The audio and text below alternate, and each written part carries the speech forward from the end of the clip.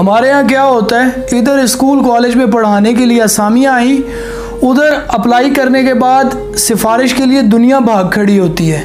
अगर कोई शख्स सिफारिश पे टीचिंग की जॉब हासिल कर भी ले तो उसे और हम सबको एक बात मालूम होनी चाहिए कि दुनिया की सबसे बड़ी करप्शन ये है कि उस्ताद को पढ़ाना ना आता हो, या उस्ताद अपनी क्लास में टाइम से ना आता हो।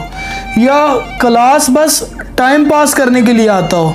बच्चों को उनका हक ना देता हो। मैं एक बात जानता हूँ कि सिर्फ़ पढ़े लिखे हुए का नाम उस्ताद नहीं होता। अगर आपका मिजाज, आपका ज़र्फ़, खुद शनासी, आपकी कम्युनिकेशन स्किल्स आपका मिजाज उस्तादों वाला ना हो तो हाथ जोड़ कर रिक्वेस्ट करता हूँ, खुदा के लिए टीचिंग के शोबे में मत जाइए, क्योंकि क्योंकि उस्ताद या तो नस्लों को तबाह करके रख देता है या फिर नस्लों और कौमों को बना के रख देता है।